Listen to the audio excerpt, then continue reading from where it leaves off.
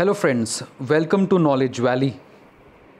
We are going to discuss the editorial on The Hindu today, and the date will be May 25th, 2020. So you can see the date over here. We've got many interesting topics to discuss today. So, first, mostly this paper, the editorial, is uh, dedicated towards agriculture. We have three editorials for agriculture one is for farms and farmers, second is the need for million work sites now, and the third is hardly the 1991 moment for agriculture. So, we have three editorials for agriculture today. One editorial, Danger in the Air, is on the plane crash which happened in Pakistan yesterday.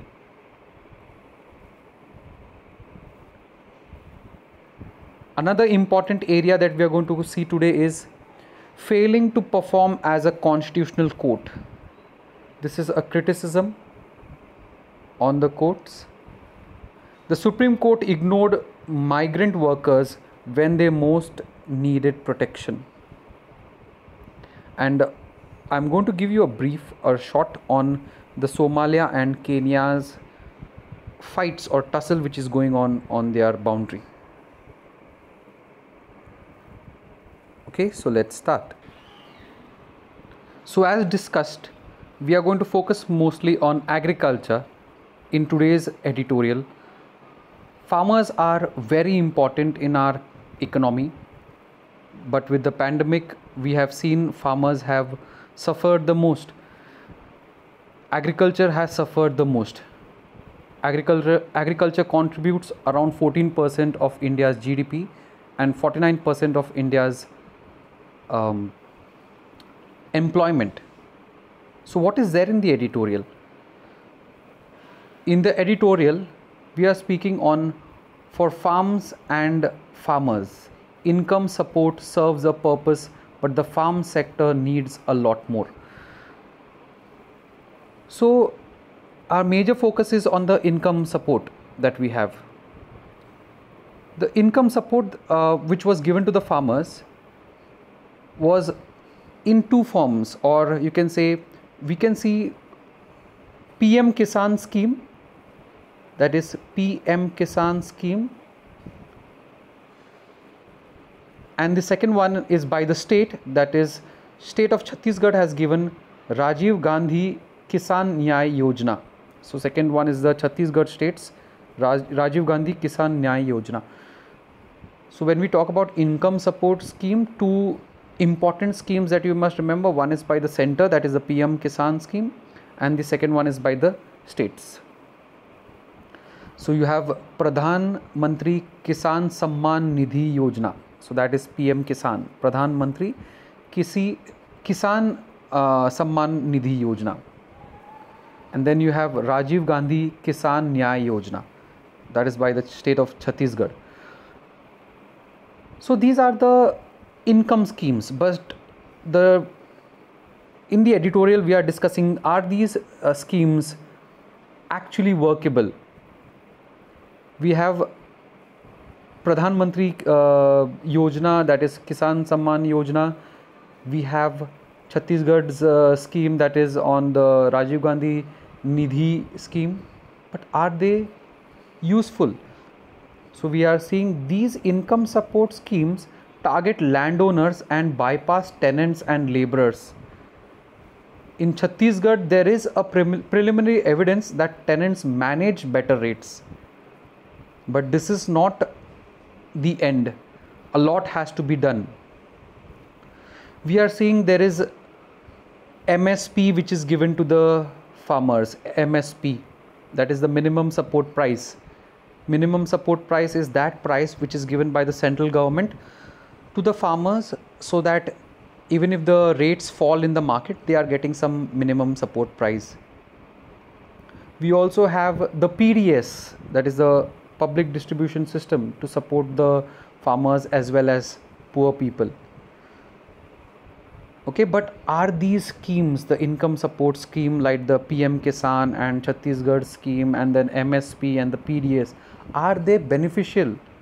We saw the owners are not getting much. Only the tenants are getting. Sorry the tenants are not getting the owners are getting. Except now chhattisgarh where even the tenants have started getting the benefit but is it the right way to go? A more market driven approach has been proposed as the solution. So you must remember a more market driven approach needs to be there. It needs to be sustainable. However many previous arguments about the agriculture economy have been rendered questionable by the pandemic the food supply supply chain crisis in us is instructive we just saw in the US there was a crisis in the food supply. Now, such a developed economy is facing such crisis. India's agricultural management must take into account such fresh learning from the pandemic and vulnerabilities.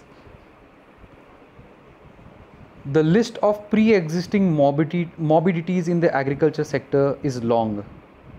So, what are the problems which are there in the agriculture sector, which is written in this editorial? messy land records. So this is the area you must focus on. Messy land records. So land records is a problem. Market linkages. Market is an issue. Vulnerable to exploitation by officials and middlemen. So there is corruption. Inadequate irrigation inadequate irrigation is there. Conflict with wildlife adoption of technology. So wildlife and technology is another issue. For the for now the center must announce the msps for the current season at the earliest. Late announcement have added to the uncertainties for the farmers in recent years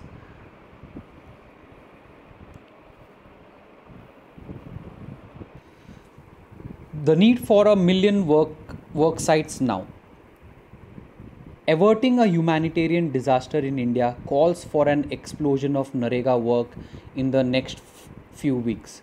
Now, this article is written by John Drèze. Now, who's John Drèze? John Drèze is a visiting professor in the Department of Economics, Ranchi University. So, if you see at the side over here, he's a visiting professor, Department of Economics, Ranchi University. Earlier, he was the member of National Advisory Council when UPA2 was in power. Now, what does John Drèze focus on? John Drèze focuses on MNREGA. John Drèze says there are so many people who are not having work, especially the migrants who have left cities and got to, gone to the rural areas. They are not having work. Now, what can we do to get, uh, get these people a minimum basic salary? So john Drèze says focus on MNREGA that is mahatma gandhi national rural employment guarantee act which is under the ministry of rural development. What does MNREGA do? MNREGA as we see over here is working uh, helps people get work it is a demand driven or a right based act. Right to work given by our constitution uh, sorry given by the act. So the farmers or the laborers can ask for work. Here we see various works undertaken by the MNREGA act. Ponds are being made uh, even ploughing is being done for the SC community and the weaker sections. We have seen large number of workers leave cities and go to the villages and we are very sorry about it. But what can we do to help these workers? As i had just discussed with you that we need to give them jobs especially through MNREGA very interesting survey was done by azim premji university and other institutions 74% of the respondents said that they were consuming less food than what they were doing before the lockdown. So that means we need to support them. Many people are going hungry. thankfully the pds is helping pds is the ration that we have is helping but is it the ultimate panacea or is it the ultimate uh, help? Lot of work needs to be generated. There are migrant workers who are saying that instead of sitting idle they might work and get some money. What are we providing them? MNREGA is a way to go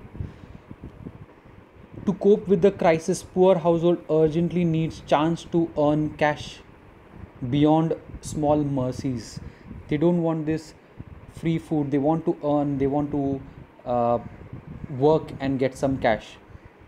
It will also help them in their uh, boost their confidence and get some self respect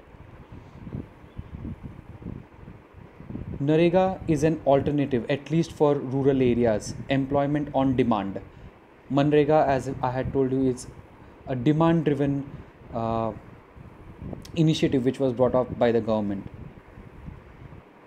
the demand for NREGA work is stronger than ever before most would prefer to do some work and earn a little rather than sit idle. John Drèze tells about an experience in the Latehar district, which is in Jharkhand. The problem with NREGA is people are unaware of what their rights are. Without assistance, however, most workers would find it difficult. There is e-muster rolls where the workers need to register themselves and then they will be able to get work. How is it possible? The most of the workers are illiterate. So to get uh, an e-muster roll it's difficult only in those areas only in those those areas we can say where the NREGA is little um, in demand or can work is where the middlemen or the government officials or the landlords all the or the sarpanch all these have the pressure to get their work done.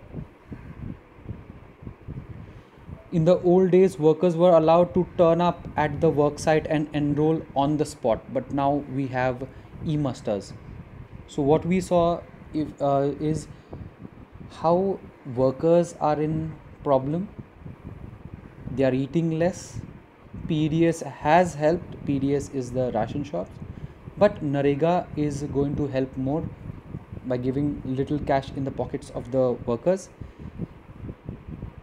There is a demand, but people are unaware. Example given was the Latehar district, Jharkhand, and in few areas the NREGA is becoming successful. Now the solution is ideally workers should be allowed to enroll at the work site. Large scale employment generation should continue throughout the monsoon. Hardest point of the year for people in large parts of rural India. Averting a humanitarian disaster in the next few months calls for explosion of NREGA work. Much can be done to facilitate this, like expanding the list of permissible works in NREGA hiring more grams uh, Rozgar Sevaks, employment assistants, simplifying the implementation process, mobilizing para teachers for work application drives and so on, and of course, top down orders to expand. So, these are the steps or way forward which we need to take. The most important step that uh, the uh, John Drèze is saying is switch to cash payment. Many people are scared of how can we switch to cash payment because we had seen a lot of corruption happening because of the cash payment. But we are seeing if there is corruption happening in the paper records, it is also happening when we are giving digital payments. So the fraudsters have broken this lock of digital payment and a lot of corruption is happening there plus there is a lot of process to be done a lot of procedures to be done before the workers who are illiterate to get some employment and there is the KYC and there is uh, the minimum balance etc a lot of bank issues. So it's difficult for the digital payments to the workers to for in the long run yes it will be helpful. But in the time of emergency cash is needed in the hands of the workers. So these steps need to be taken. This is what john Drèze is saying the NREGA budget so lastly we'll see the NREGA budget funds are not an immediate concern since NREGA budget for 2021 has been raised to 1 lakh crore or so but more is likely to be required to meet the tremendous demand for NREGA work. So just remember 1 lakh crore has been set up for NREGA in 2021. It is important to ensure that funds never dry up. This happened every year in the last few years. NREGA is supposed to be demand driven program with an open ended budget. Nothing in act authorizes the government to impose a budget cap. The next article that we will speak about is hardly the 1990 moment 1991 moment for agriculture. Recently, we have uh, Finance Minister Nirmala Sitharaman. She has made a lot of changes in the agriculture, brought a lot of reforms. We have Himanshu, who is uh,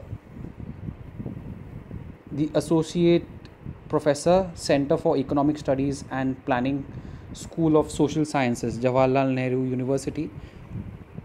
So this is the article by Himanshu, who is a associate professor. It is written by him. So this article mostly talks about the APMC, that is agriculture producing market cooperatives.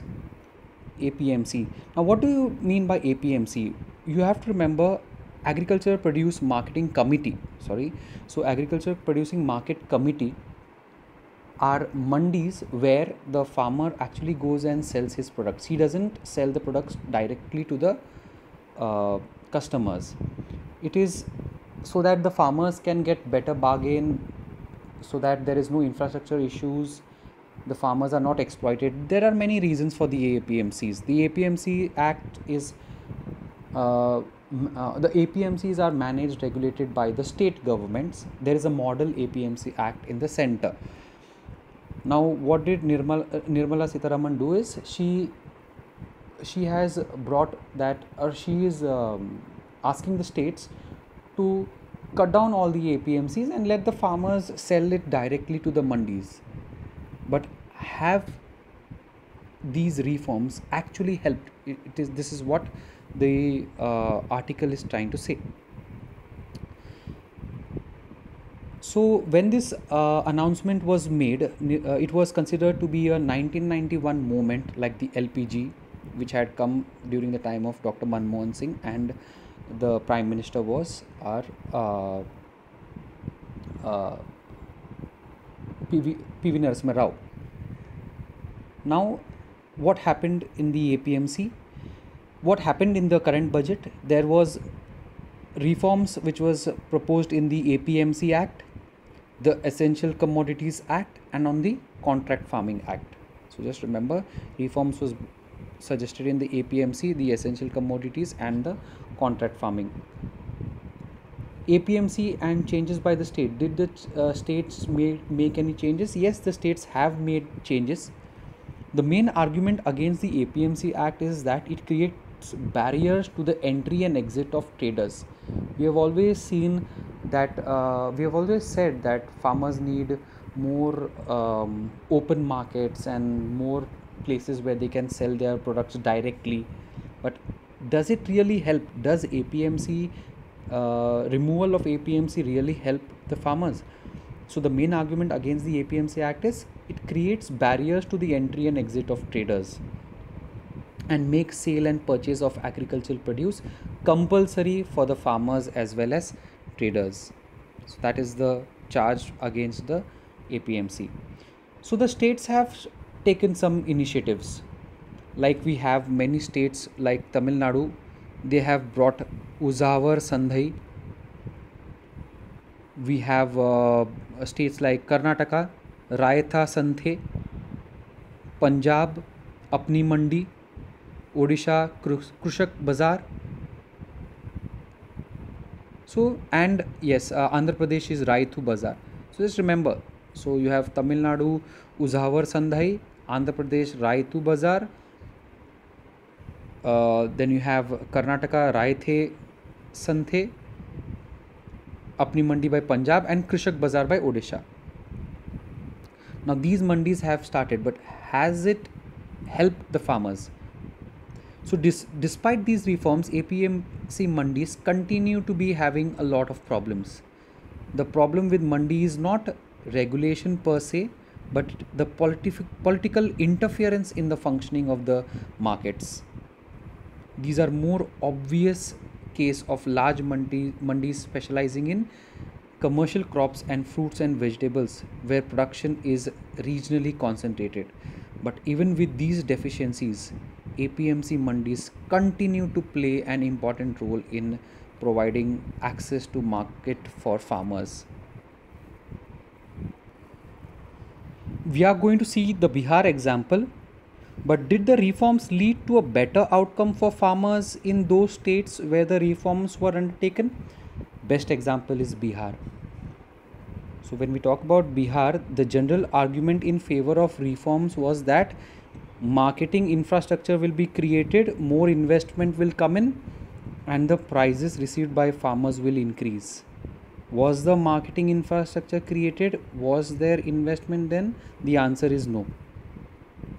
Plus, the prices did not increase. Farmers instead got lower prices. The private, there was increase in the private traders and the private mandis, and they took a lot of fees from the uh, farmers. In case of the APMCs, they had to provide farmers with services which was not given in the uh, private uh, mandis. So the the talk of APMC to be removed and reform in the APMC and get the private mandis coming in actually has not seen um, good results in states like Bihar. While there has been instances of collusion corruption in the running of the apmcs they continue to provide essential service to the farmers however the vilification of apmcs has allowed the government to escape the responsibility of creating marketing infrastructure for millions of farmers. So what has happened is by always saying that apmc is, is bad government is running away from its duties because what the government was doing is it was taking fees from the farmers in the APMC and it had to provide them infrastructure. But uh, since there is a talk of removal of APMCs and bringing private sector now who will give uh, the infrastructure to the farmers? So the government is not responsible anymore. Plus uh, who will look after the regulation if the farmers are exploited? So there is no one to look at look after that. Okay? So a good example in case is of decline in the milk prices. So what the editor is uh, or what the um, uh, what the professor is trying to say is the whole thing is about demand and supply rather than the APMCs or the private mandis. A good example in this case is of decline in the milk prices pointed by the uh, finance minister herself. Despite the presence of cooperatives and private dairies, the collapse of milk prices reflects the decline in the demand in the economy. While it may have been, uh, while it may have exacerbated the during the national lockdown following the COVID nineteen pandemic, the fact that demand was declining even before the lockdown is not well known. So, what Mr. Himanshu, who is the associate professor, he's trying to say is focus on the demand. For much of the recent, in the past two years, the demand has reduced, and that is why the agriculturist or the farmers are getting less prices of whatever they are selling. It's not the markets which are more uh, more uh, uh, important to have reforms for. So, demand needs to be created and uh, the editor is putting the onus on the government because the government is focusing mostly on the fiscal prudence and the monetary policies and there is focus on inflation. So government is not putting much money in the market and when there is lot not much money in the market there is not there will not be any demand. If there will not be any demand there will not be inflation and the farmers will not get enough so even before the so in the conclusion he says even before the lockdown the primary task of the government especially the finance ministry should have been increase fiscal spending to put more money in the market.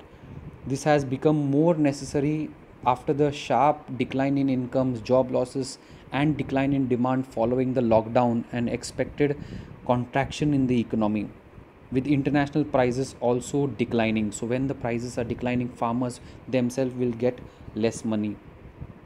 As against these announcements these reforms without a draft and without a proper consultation with states or stakeholders will be dangerous.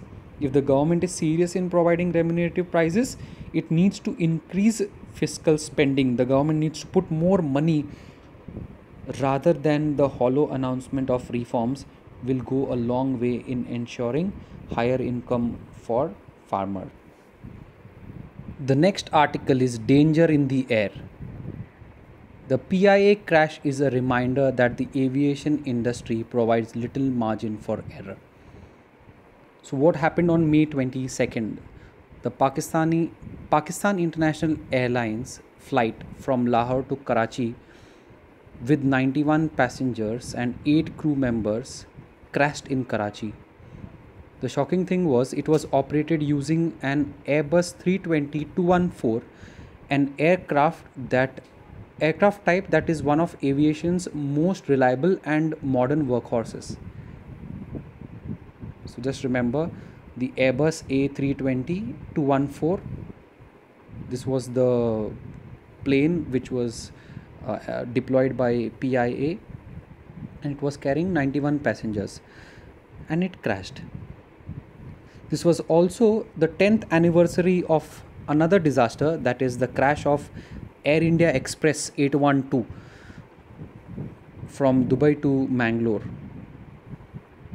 which was a disaster in Mangalore. So May 22nd is a bad day for the airline industry the COVID 19 has actually created a great problem in the airline industry with their balance sheets and their costs all going haywire.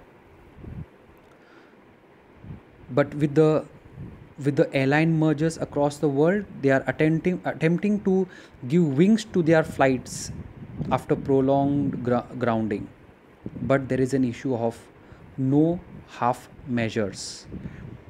The necessity of flying machines being returned to the service after a complete maintenance check, and more importantly, air crew being allowed at the controls only after key proficiency checks in a full flight simulator have to be stressed. Means a complete check has to be done, and uh, those who are going to fly the planes and manage the planes they should have a proper uh, simulation or they should first be ready with it. This is a subject that aviation regulators can ill afford to overlook and a challenge too given that it is airlines with deep pockets or with access to financial lifelines that can bridge such issue. The tragedy in Pakistan has also spotlighted another long standing safety concern that is, while approaching in a densely populated neighborhood lining the airports, highlights the dangers of buildings and obstacles affecting airlines operations. So, the first issue is that the machine should be proper. The second issue is the people who are managing it need to train themselves first the third is the buildings which are there all around near the airport in india the authorities concerned have often glossed over high court orders to demolish structures around aerodromes that violate stringent guidelines so this is about the airline in the next article we will focus on failing to perform as a constitutional court. The Supreme Court ignored migrant workers when they most needed protection. This is written by Ajit Prakash Shah, who was former Chief Justice of Delhi and Madras High Court and former Chairperson, Law Commission of India. What does Ajit Prakash Shah tells? As India, along with the rest of the world, grapples with public health crisis caused by COVID-19, it faces many unique challenges. The most acute problem is faced by laborers. They have no work, no source of income, no access to basic necessities, no quality testing facilities, no protective gear, and no means to reach home. So the laborers are the most affected because of this lockdown. Every day we hear of migrant laborers walking hundreds of miles, many dying in the process. The saddest thing is the apathy shown by the institution, especially the court. In this lockdown, enough and more evidence points to the fundamental rights of citizens having been violated and especially those of vulnerable population like migrant laborers. But instead of taking the side of the laborers supreme court has remained aloof. They have remained far away by not granting any relief. The citizen the court is denying citizens of the most important fundamental rights in one of the strictest lockdowns in modern india center issued many directions but designated the states as implementing authorities. But the issue of migrant laborers is inherently interstate issue and the states have to tackle it both internally as well as amongst themselves. Who will guarantee safe transport of the return of migrant workers?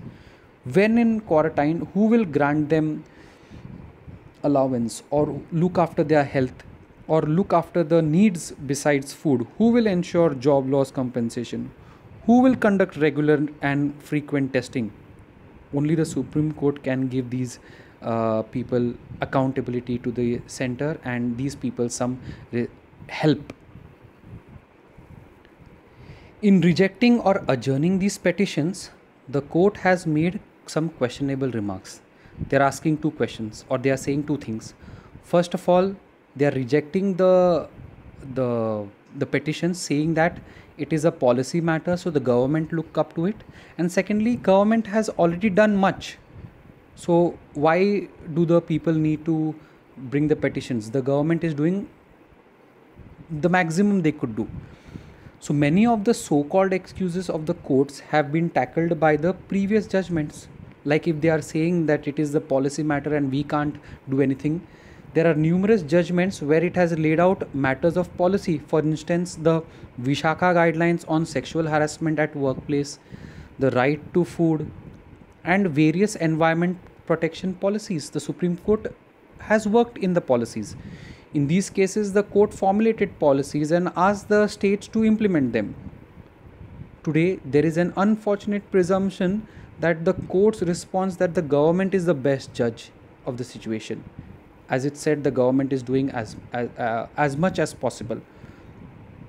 The court seems to have forgotten at least if you're not uh, challenge the government at least make them accountable. This is what the writer is saying.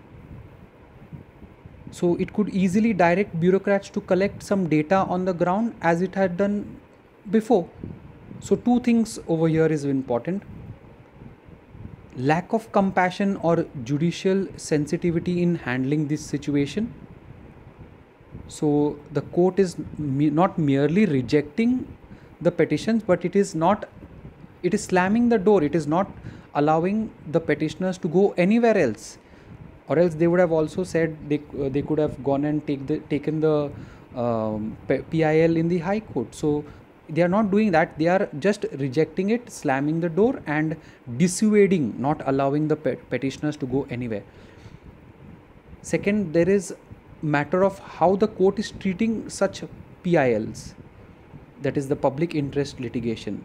Public interest litigation is for the public so that anyone can go to the court and uh, ask for any help. But they are seeing it as against government. Adversarial so that is a second wrong way at looking at the PIL. Today we find ourselves with the Supreme Court that has time for billion dollar cricket administration or the grievance of high profile journalist while there is no time for the migrants. in this case role of high courts has been much better there are some high courts like karnataka madras andhra pradesh and gujarat have started asking questions. This is almost a replay of what happened during the time of emergency. The madras high court for example has broken or quashed criminal defamation cases against media houses stating that democracy cannot be throttled this way.